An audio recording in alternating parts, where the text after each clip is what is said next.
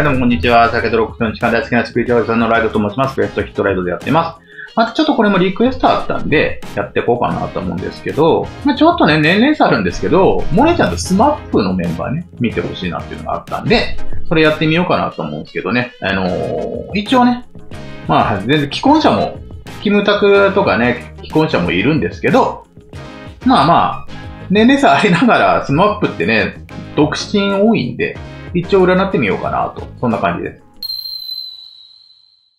えー、モネちゃんは1992の1月27日までですね。何回も見てます。えー、っと、じゃあ一人一人見ていきますね。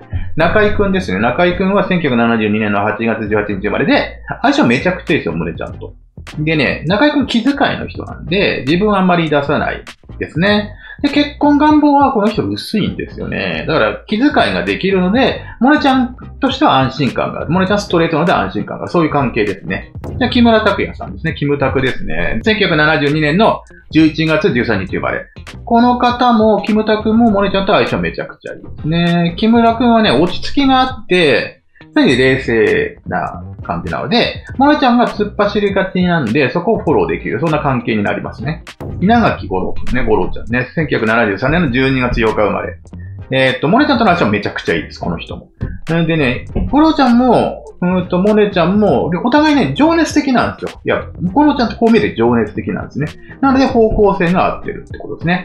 えじゃあ、草薙剛くん。つよぽんは、1974年の7月9日生まれ。相性ね、強くね、モネちゃんとあんま良くないですね。強くはね、えっ、ー、と、自分の世界がこの人ある人。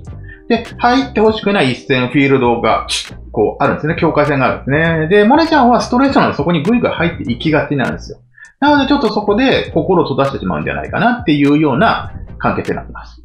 で、あと、香取慎吾くん。慎吾ちゃんですね。1977年の1月31日まで。えっ、ー、と、慎吾とね、モネちゃん相性は良くないですね。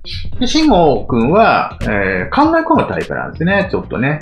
えっ、ー、と、なかなかね、行動する前に考えて考えて納得してからじゃないと動かない、動きたくない人なんですよ。で、モネちゃんってのは逆で、えー、考え込む前に一回行動しちゃう。行動しちゃって後で考えればいいやみたいなところがあるんで、まあ、そういう部分はペースが合わないっていうことなんですね。そんな感じで今回は、えー、と、モネちゃんとちょっとリクエストがあったんで、スマップのメンバー。ね、元スマップですかね、今となっては。元スマップのメンバーとの相性はどうですか？っていうのを見てみます。そんな感じでした。えっ、ー、と、チャンネル登録またお願いします。よろしくお願いします。